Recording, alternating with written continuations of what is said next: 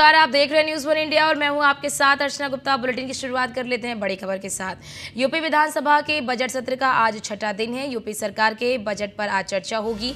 UP सरकार के अब तक के सबसे बजट, बड़े बजट पर आज तो यूपी सरकार के अब तक के सबसे बड़े बजट पर चर्चा होगी। विधानसभा में बजट सत्र का आज छठा दिन है और इस बजट पर चर्चा होगी।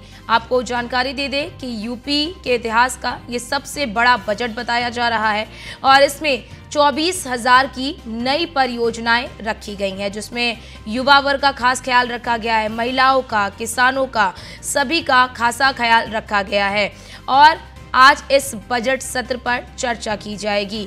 यूपी सरकार के बजट पर चर्चा की जाएगी, जिसे 5 फरवरी को वित्त मंत्री सुरेश खन्ना ने सदन में पेश किया और आज इस बजट पर चर्चा की जाएगी। सदन में सत्ता पक्ष और विपक्ष अपनी अपनी बात रखेंगे और उनके प्रश्नों का उत्तर दिया जाएगा। यूपी विधानसभा के बजट सत्र का आज छठा दिन है। यूपी सरकार के बजट पर आज चर्चा होगी। चौबीस हज़ार करोड़ की नई परियोजनाएँ रखी गई हैं और इसी के साथ ही आपको जानकारी दे दें कि राजस्व घाटा को भी बड़े ही संतुलित तरीके से रखा गया है।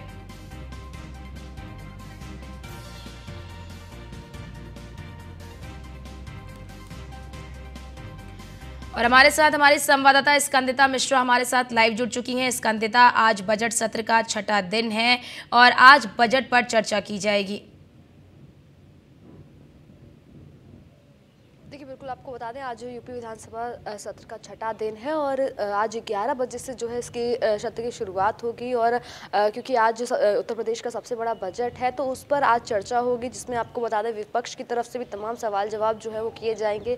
सरकार भी कई हद तक उनका, जो जवाब है वो देती हुई नज़र आएगी। जैसा कि अभी आपने बताया तो उत्तर प्रदेश का इस बार जो सबसे बड़ा बजट रहा है, अभी तक का सबसे बड़ा बजट है चौबीस करोड़ की तमाम परियोजनाएँ हैं। युवाओं के लिहाज से काफ़ी कुछ चीज़ें खास रही हैं इस बजट में और आपको बता दें सी आज कल की अगर बात की जाए तो कल अखिलेश यादव का संबोधन था, जिस पे उन्होंने तमाम सरकार को घेरने का प्रयास किया था अपने जो अपने जो जनहित के मुद्दे हैं, जो वो लेकर गए थे, वो जनहित के मुद्दों पर उन्होंने सरकार को घेरने का प्रयास किया था। जिसके बाद सीएम योगी आदित्यनाथ ने भी उन पर कटाक्ष किया, तमाम पहलुओं पर। उन्होंने भी उनको घेरते हुए उनको, उनके सवालों के जो जवाब थे, विपक्ष के जो जवाब थे, वो जवाब योगी आदित्यनाथ ने दिए। और आज भी जो है विधानसभा सत्र की शुरुआत जो है, सुबह ग्यारह बजे से हो जाएगी। इसमें चर्चा जो है बजट पर होने वाली है आज पूरा ही दिन और 11 बजे से इस चर्चा की शुरुआत होगी जिसमें विपक्ष और आ, सरकार के जो लोग हैं वो जो है उन लगभग सेम भाग लेंगे और जो है बजट पर आज चर्चा करते हुए नज़र आएँगे। बजट में क्या कुछ चीज़ें रही हैं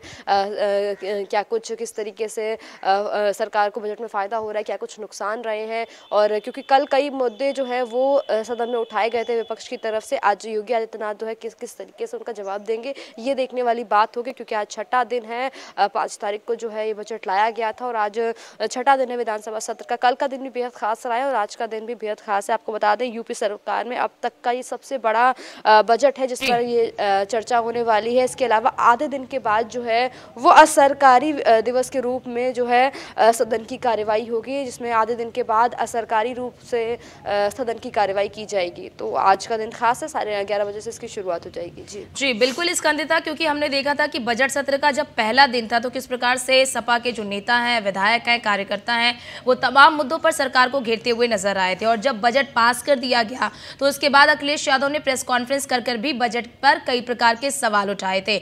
ऐसे में आज का जो दिन है, क्या आज का दिन भी हंगामेदार रहने वाला है? ऐसे आसार लग रहे हैं।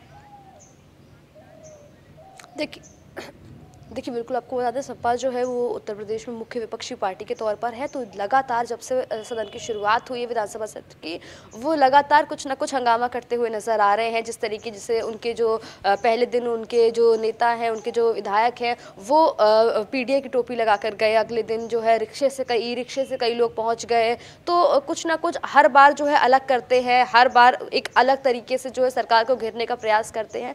कल की बात की जाए तो कल कई मुद्दे जो है विधान विधानसभा जो अभिभाषण था, उसमें से पढ़ के अखिलेश यादव ने उठाई थी, जिसमें उन्होंने छोटा पशुओं का पशुओं का ज़िक्र किया था, किसानों की बात की थी। इसके अलावा लगातार पिछड़ा दलित और अल्पसंख्यक की बात की थी कि उनके हक की आवाज़ सरकार नहीं कर रही है जिसपे सीएम योगी आदित्यनाथ ने भी कटाक्ष करते हुए उन्होंने पीडीए की फुल फॉर्म चेंज करके उन्होंने बताया था कि पीडीए जो है, वो पिछड़ा दलित और अल्पसंख्यक नहीं परिवार डेवलपमेंट अथॉरिटी है। तो सीएम योगी आदित्यनाथ कल थोड़ा सा जो है दोनों ही दोनों ही जो सरकार और विपक्ष की बात की जाए तो एक दूसरे को घेरते हुए नज़र आए एक दूसरे पर तंज कसते हुए नज़र आए और वैसे ही आज का दिन क्योंकि तमाम सवाल जो है वो विपक्ष लगातार उठा रहा है युवाओं के हक की बात कर रहा है महिला सुरक्षा को लेकर लगातार जो है वो बात कर रहा है महँगाई का मुद्दा जो है वो विपक्ष लगातार उठा रहा है और सरकार जो है वो भी कहीं ना कहीं जो विपक्ष के जो जो सवाल है उनके जवाब देती हुई नज़र आ रही है। सदन में कल का दिन भी हंगामेदार रहा है और आज भी आसार है कि सदन जो है वो हंगामेदार रहे। ग्यारह बजे से जो है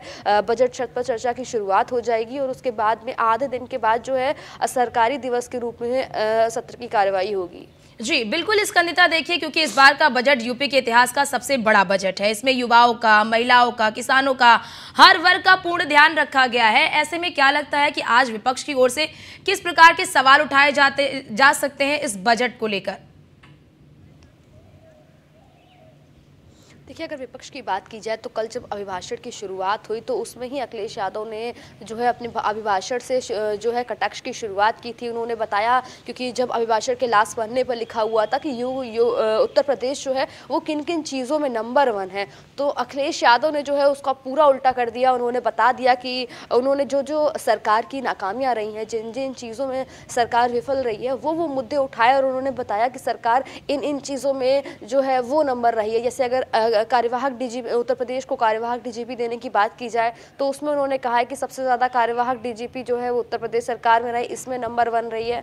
छोटा पशुओं की जो समस्या है उसमें नंबर वन रही है और उसी को देखते हुए जो है इस बार बजट में खेत सुरक्षा का जो प्रोसीजर है, वो लेके आया गया है। तो इस तरीके से अखिलेश यादव वहाँ घेरते हुए नज़र आए। इसके अलावा महिलाओं की बात की जाए तो अपराध, उन्होंने कहा, अखिलेश यादव ने कल की अपराधियों को छोड़ने में मतलब महिलाओं के खिलाफ हुए जो अपराध है, उन अपराधियों को छोड़ने में यूपी सरकार नंबर वन है। इसके अलावा जो युवा हैं उनको युवाओं यु, सॉरी रोज़गारों जो है रोज़गारों पर जो है वो लाठी चलाने में योगी सरकार नंबर वन है। तो इस तरीके से उन्होंने अपने अभिभाषण को पढ़ते हुए अपने संबोधन की शुरुआत की थी जिसमें उन्होंने शुरू से लेकर और अंत तक जो है तमाम मुद्दे उठाए और तमाम मुद्दों पर उनको घेरते हुए नज़र आए। इसके अलावा जब सीएम योगी आदित्यनाथ ने का संबोधन शुरू हुआ तो सीएम योगी आदित्यनाथ ने भी अपने जवाब में जो सपा द्वारा या विपक्ष द्वारा जो सवाल उठाए गए थे उन सवालों के जवाब दिए तंज कसते हुए पीडी का मुद्दा क्योंकि विपक्षी पार्टियाँ लगातार उठा रही है कास्ट सेंसस का मुद्दा लगातार उठा रही हैं।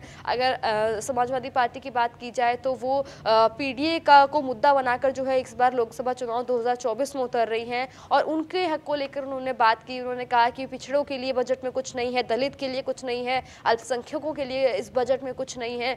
तो उस पर भी जो है सीएम योगी आदित्यनाथ ने जवाब देते हुए कहा कि जो पीडीए है वो पिछड़ा दलित अल्पसंख्यक नहीं बल्कि परिवार डेवलपमेंट अथॉरिटी बिल्कुल बिल्कुल स्कंदिता और कहीं ना कहीं आज का जो बजट सत्र का जो छठा दिन है आज भी काफ़ी ज़्यादा हंगामेदार रहने वाला है। विपक्ष की ओर से तमाम सवाल उठाए जाएँगे और उसी आक्रामक अंदाज में सत्ता पक्ष की ओर से उसका जवाब भी दिया जाएगा। आप हमारे साथ बने रहिए आपके पास लौटते हैं।